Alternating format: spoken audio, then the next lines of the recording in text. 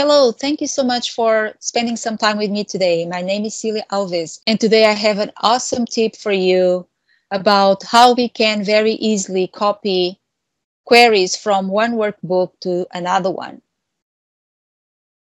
So we have two workbooks open side by side.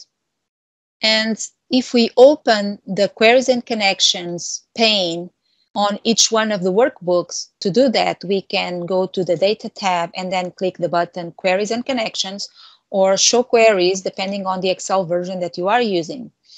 We can see that the first workbook has a few queries already built, and the second one does not have any queries yet. Before we start copying queries from the first workbook to the second one, let me show you the different situations we have here in terms of how many data sources each one of the queries have and how the different queries relate or depend on each other. To do that, let's come here to Data, Get Data, Launch Power Query Editor. And once on the Power Query Editor, on the View tab, I have a button that says Query Dependencies. Let me, this opens a new window. We can center the diagram using this button here, Fit to Screen, on the top bottom right corner. And in here, we can see all the queries that we have on the workbook number one. For example, the employees query it tells me that it comes only from one external file. And by hovering the mouse on the icon that represents that file, I can see the path for that file. And I see that it's an Excel file, XLSX extension. And then this query uh, feeds the sales final query. The same thing, exact thing happens with the products query and with the stores query. Each one of these individual queries read from the external Excel workbook and feed the sales final query.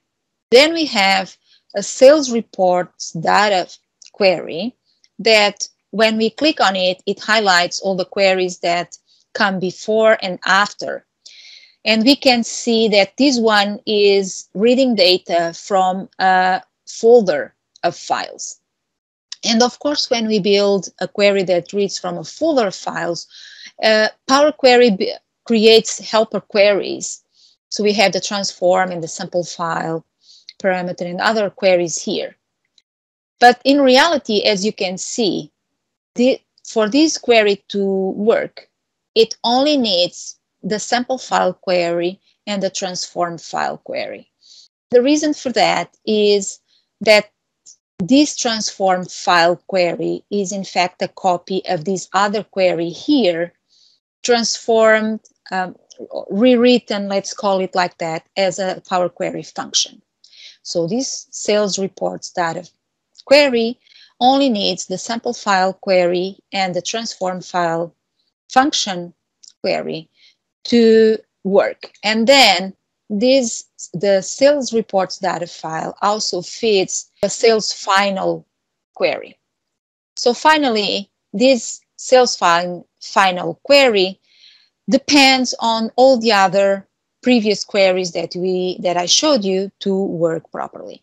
So let's go case by case. Let's close this and let's close the Power Query editor. So the most simple case, let's say the products. Let's open the products query. Products query, we can see we have one, two, three, four steps here.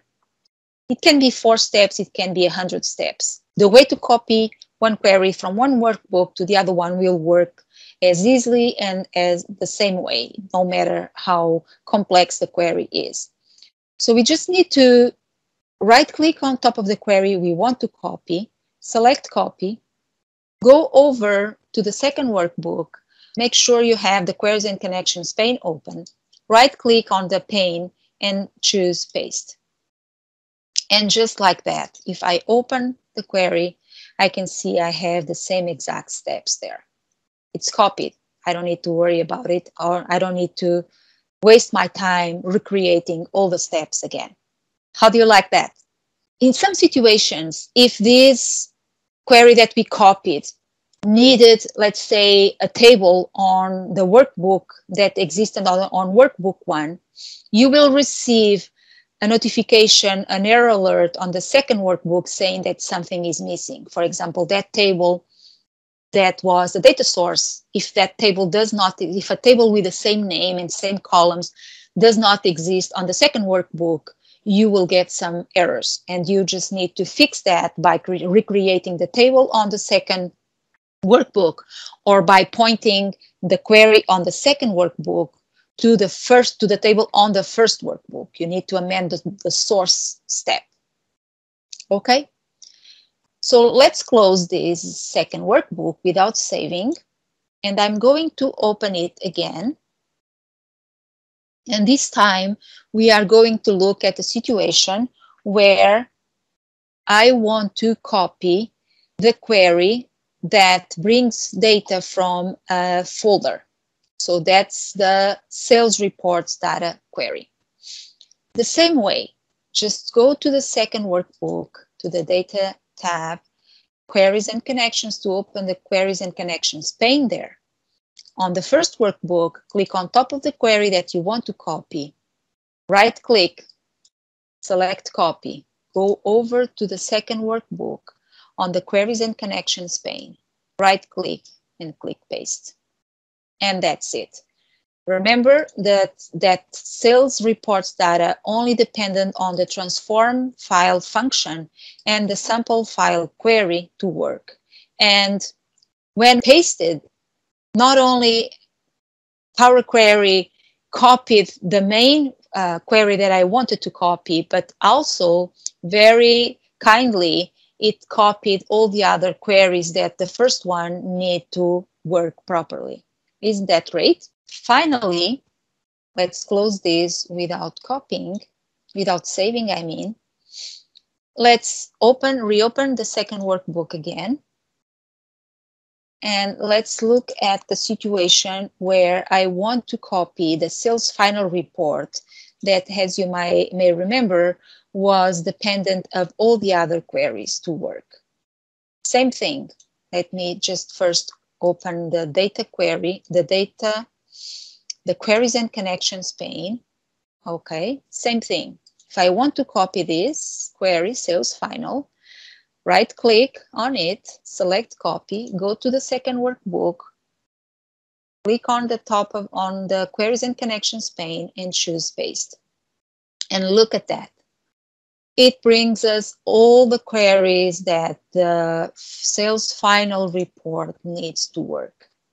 If we right click on one of the queries to open the Power Query editor and go to view query dependencies, we can see that all the relationships that we saw before between the different queries was preserved and is all mounted here on the second file. We don't need to spend the same time recreating all the queries again. Some people sometimes they think that uh, a way to copy is to come to the advanced editor query by query and copy the code. But as you saw, you don't need to do that. Uh, however, if you needed to work with the code, you, you were interested in copying the code, in fact, and work with the code outside the Power Query editor, for example, there's another way of doing it. And that is just by opening your notepad or any other text editor program. And again, go to the query you want to copy. Let's say it's the sales final. Select copy. Go to your notepad, right click and paste. And boom, look at that. We have all the codes, not only from the sales report, the final, where is it? The sales final query that we copied, but because this query needs all the other ones to work properly, it also, Excel also brought all the code from all the other queries. To separate the code uh, from one query to the other one, we have a line of code that starts with uh, slash slash before the name of the query to indicate this is a, a, commented line of code. So it's not a, a line of code to run, it's just a comment. And it indicates the name of the query. Here is where this first query ends, and then we starts here the second query and so forth. So if you needed the code for some reason, here you have the code, even indented and everything on your notepad. So that's it. I hope you like this tip. Remember to subscribe if you are interested in receiving notification about future tutorials and give it a thumbs up to this video if you thought it was useful for you. Thank you so much and we'll talk soon.